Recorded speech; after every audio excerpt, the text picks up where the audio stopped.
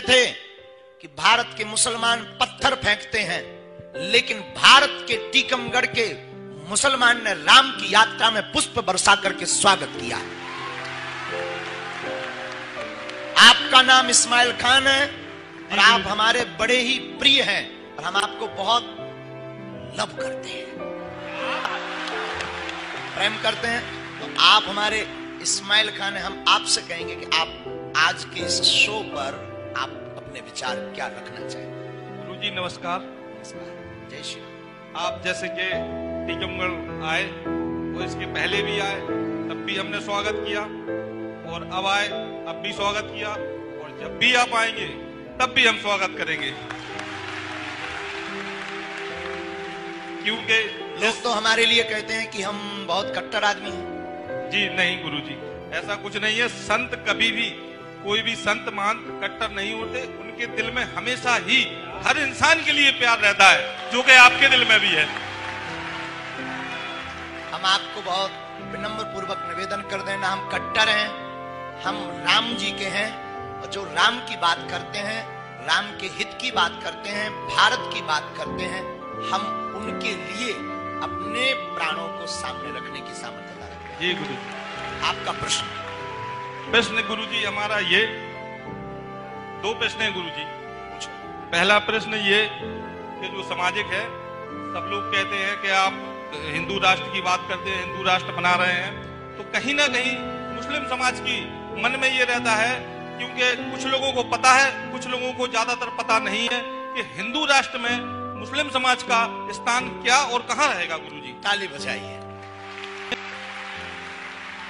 इस्माइल खान साहब, आपके माध्यम से हम समूचे भारत वर्ष के मुसलमानों को पहले बात तो ये कहना चाहते हैं, जो जो भी हमारी इस वीडियो को सुनेंगे, कि हमारे हिंदू राष्ट्र की कल्पना में भारत का मुसलमान जहाँ अब है, वहीं रहेगा। भारत हिंदू राष्ट्र की कल्पना में जिस प्रकार पाकिस्तान में हिंदू रहते हैं, उसी प्रकार भारत में मुसलमान भी रहेंगे। हमारे भारत हिंदू राष्ट्र की कल्पना में किसी भी पंथ को भारत छोड़ने की आवश्यकता नहीं है। हिंदू राष्ट्र का मतलब कोई एक मज़हब की बात, किसी एक धर्म की बात बापोती नहीं। हिंदू राष्ट्र मतलब सनातन सनातन मतलब सबका घर। तो प्रत्येक भारत का मुसलमान और जो यहाँ के हैं और आप हैं, आपके माध्यम से अगर हमारी बात पहुँचे तो आप ये अपनी कमेटी को ये बता दीजिएगा कि हिंदू राष्ट्र का मतलब राजनीतिक रोटियाँ सेक कर कोई हमारे और तुम्हारे बीच में दरार भर दे तो उसको नहीं हम कह सकते हैं। लेकिन हमारे हिंदू राष्ट्र की कल्पना बहुत स्पष्ट है जिसमें किसी भी धर्म को भारत छोड़ने की आवश्यकता नहीं है ना हम छोड़ने देंगे। हाँ किसी को दिक्कत है तो पासपोर्ट दिलवा देंगे। गुरु जी दूसरा सवाल। जी। हमें बहुत अच्छा लगा गुरु जी बिल्कुल हृदय से और दिल से कि जो आप जैसे संत अगर पूरे भारत में हो जाए तो भारत का उद्धार हो जाए। वो इसलिए गुरु जी, कि आपने ही सोचा है कि हम कैंसर हॉस्पिटल बनाएँगे नाम पर। तो गुरु जी, उसके लिए तहे दिल से धन्यवाद, तहे दिल से बार बार धन्यवाद।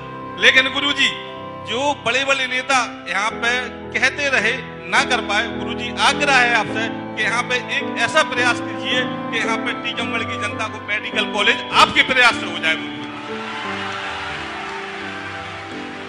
बार जोरदार ताली बजाओ आप सब। देखो, हम कोई राजनेता तो है नहीं, हमारे कहने से बन जाएगा, अगर ऐसा होता तो हम रात को ही ऑर्डर सीट निकलवाते। लेकिन आपकी बात पर हम जोरदार समर्थन के साथ में बालाजी से, अपने इष्ट से प्रार्थना करते हैं, जो हमारी ताकत है, कि सन्यासी बाबा और बालाजी करें कि बहुत जल्दी यहाँ पर ये खुशखबरी आवे बहुत बहुत धन्यवाद। आपसे फिर बात करेंगे। तब तक आप अपने भावों को लेकर के बैठे